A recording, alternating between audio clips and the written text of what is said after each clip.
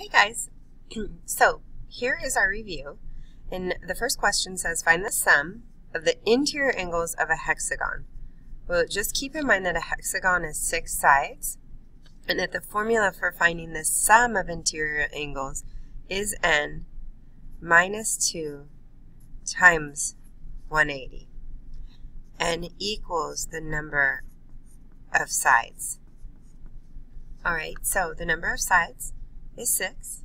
6 minus 2 times 180, which if you want to think of it as 4 times 180, you would get 720. All right. Find the sum, again, sum of exterior angles of a heptagon. Heptagon has seven sides, but that doesn't matter because exterior angles, the sum of them, that's the angles on the outside of a figure, will always equal 360. Always. Okay, this one. Find the measure of each interior angle of a regular octagon. And don't forget that that's 8. An octagon is 8 sides. So this time we're trying to find each. And the formula for that is n minus 2 times 180, but you're going to have to divide it by 8 um, because that's the number of sides, right? So we're going to do 8 minus 2 times 180 divided by 8. And when we do that, we will get 135. And again, it's asking for each. Notice the difference. This one says sum up here. Find the sum, that's all of them, interior angles. And this one says find each interior angle.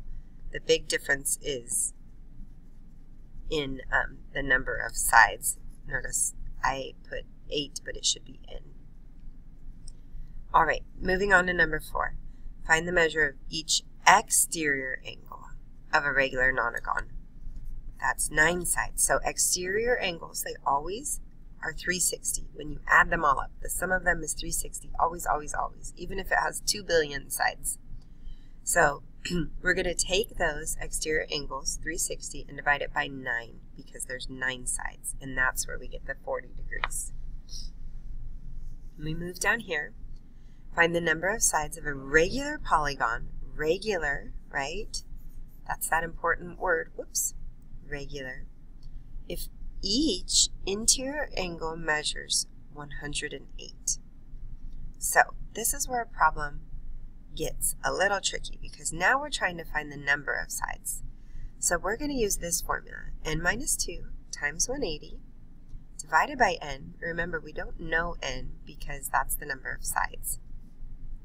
But we do know that each angle equals 108. So I'm going to start solving by multiplying both sides by n, and these will cancel out. And then I'm left with n minus 2 times 180 equals 108n. I multiplied these two together.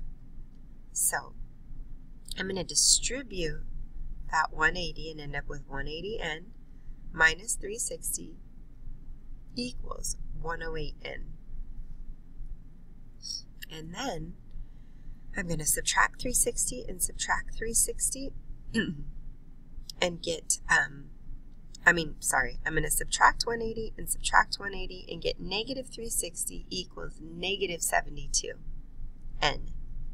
Now I'll divide by negative 72 and divide by negative 72, and then I get n equals 5.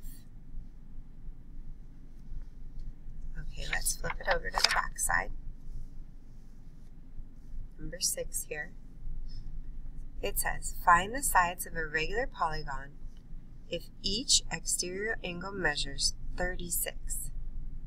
So remember, to find an exterior angle, the sum of them is always 360.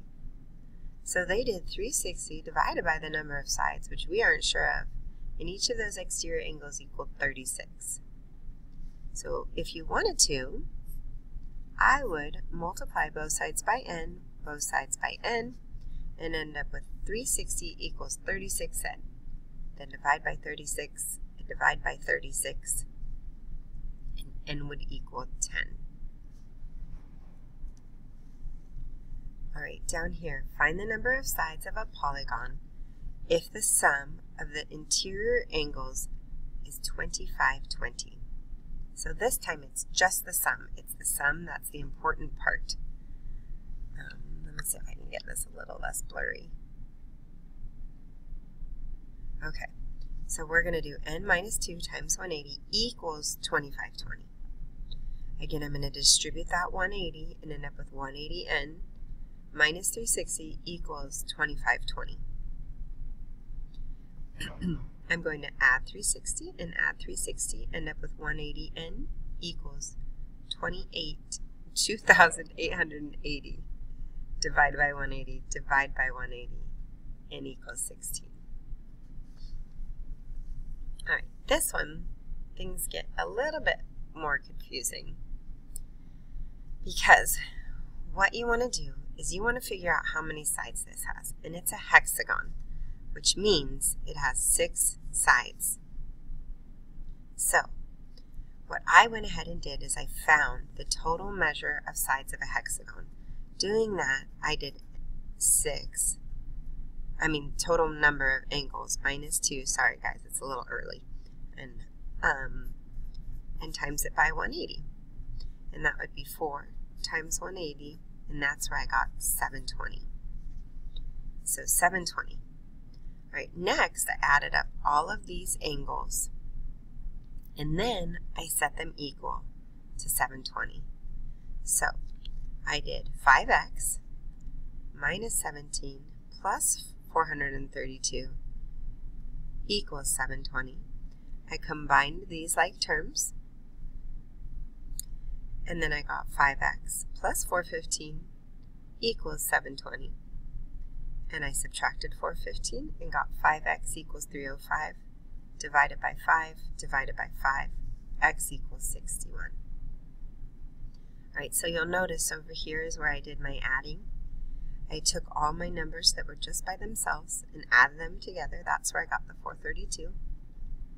And then I added my two expressions, and that's where I got 5x minus 17. And over here, I added the two together and then solved for x.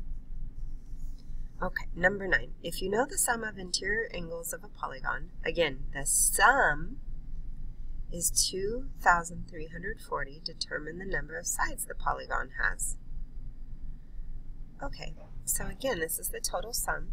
So we're going to use that formula, n minus 2 times 180, and we're going to set it equal to 2,340. All right, well, I'm going to distribute my 180 and end up with 180 minus 360 equals 2,340.